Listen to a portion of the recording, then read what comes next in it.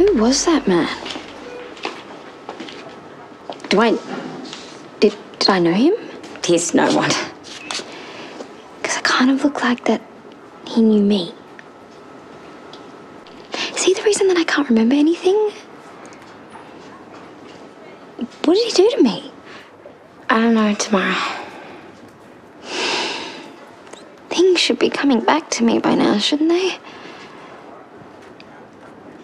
Maybe you're ready to go home. You're medically stable. It might help bring your memory back. Why don't I talk to Dr. Walker and, and see what he says? Yeah, yeah, please. I, I'd love that.